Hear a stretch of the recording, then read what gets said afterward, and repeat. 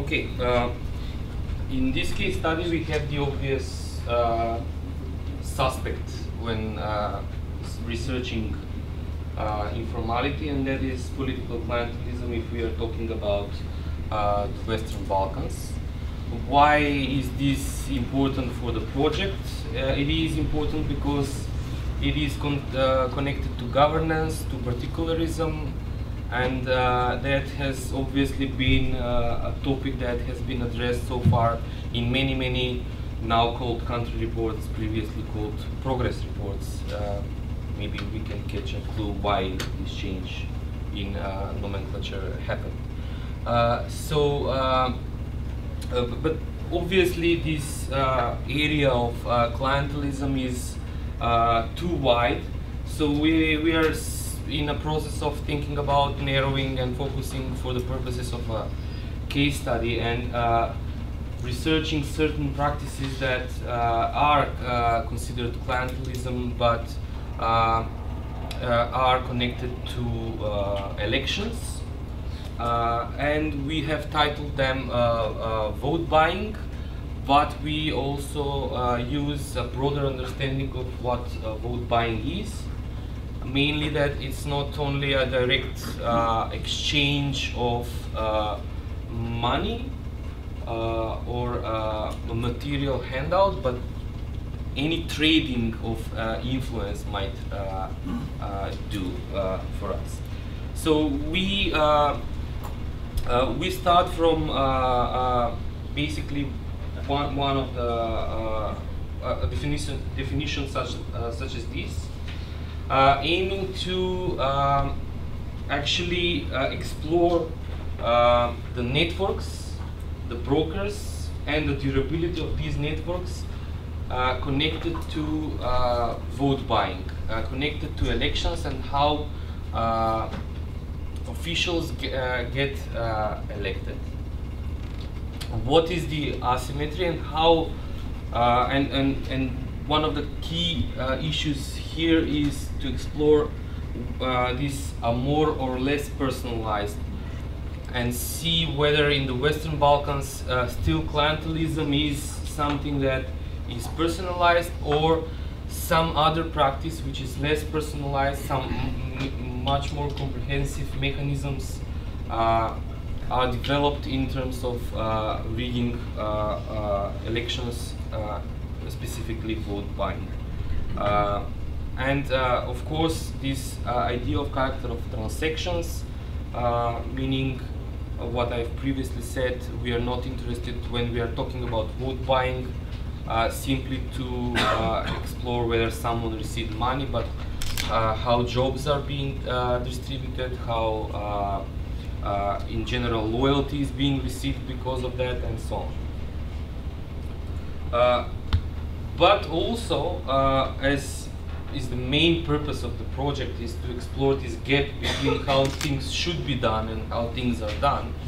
Uh, we are uh, uh, trying actually to understand why this uh, clientelism exists.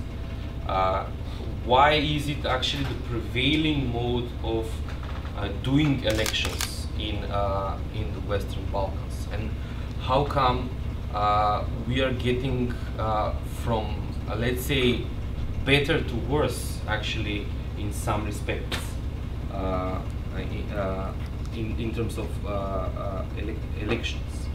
Uh, but also, uh, uh, some some authors are saying that uh, political party patronage is something that should be expected as, uh, and also some other authors in uh, who write in bureaucracy they say, of course we are talking about uh, merit system, but there is always going to be some spoils uh, in the in the in the system. So we are not going to look into distribution of uh, jobs or appointments on the top level where we are actually uh, um, seeing uh, uh, what uh, Kopecký is saying that actually the, the increased level of complexity of governance is also producing patronage. The decentralization of governance, the privatization of governance is also putting some, let's say, uh, impetus for the political elites to appoint figures uh, uh, in, in, in these uh, agencies. but we, our guide should be this distinction between universalistic and particularistic outcomes. Uh, it is not so much how people uh, have been appointed, it is uh, more or less, uh, actually it is uh, how overt or how transparent was this, even if it is a spoils-based uh, appointment being done when talking about job distribution. But how, how, what was the outcome? whether this pro produces particularistic or universalistic uh, governance and outcomes. And also the main uh, kind of idea of uh, the project is also found in our uh, case study is that actually uh, there is a double-faced nature of clientelism. In some uh, ways it is this, let's say, job, job para-job employment agency which political, political parties become is functioning, is functioning for someone, uh, and uh, we uh, are aiming to uh, explore how well this has been developed. Uh, so main research problems is why does this system remain, what, what I previously said, how does vote buying function in practice, which hasn't been actually that much researched uh, previously. Uh, and we are really interested in the in the really practical mechanisms of how this vote buying is done. One such example is uh, generating uh, voter lists. So every uh, person working in, a, in the uh, administration has to provide 15 votes or 10 votes and that is really being enforced in practice. Uh, it is being enforced uh, during a campaign and it is being enforced on election day. So the political parties have really uh, developed a system of controlling how on election day someone didn't deliver part of their uh, votes. And this is really interesting to see how this uh, agency, let's say, uh, uh, is, is doing its uh, job. Who are the brokers and enforcers of the network? So uh, what, what we termed crowdsourcing clientelism, so there is no certain center that is appointing or getting loyalty or assuring loyalty, but actually distributing to local brokers to, to enforce the, that, that network. And the main question is how depersonalized is the network? Is, is the clientelism uh, based on kinship or is it based on party membership or is it based on something else? How, how uh, uh, are these networks, uh, how, how do they look, uh, look uh, in, in, in this respect?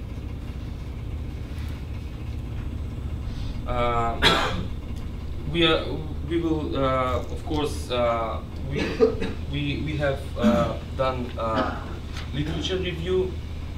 we are going to use other secondary um, sources, but we are going to also use questions from the survey and fieldwork with uh, with, uh, and that is one, one of the issues that we are still thinking about, whether to actually do ethnography and go into a local community and explore this, or uh, actually to uh, do in-depth uh, uh, uh, interviews with mid-level or if we are lucky high-level politicians that can exp explain to us or party members that can explain to us how this works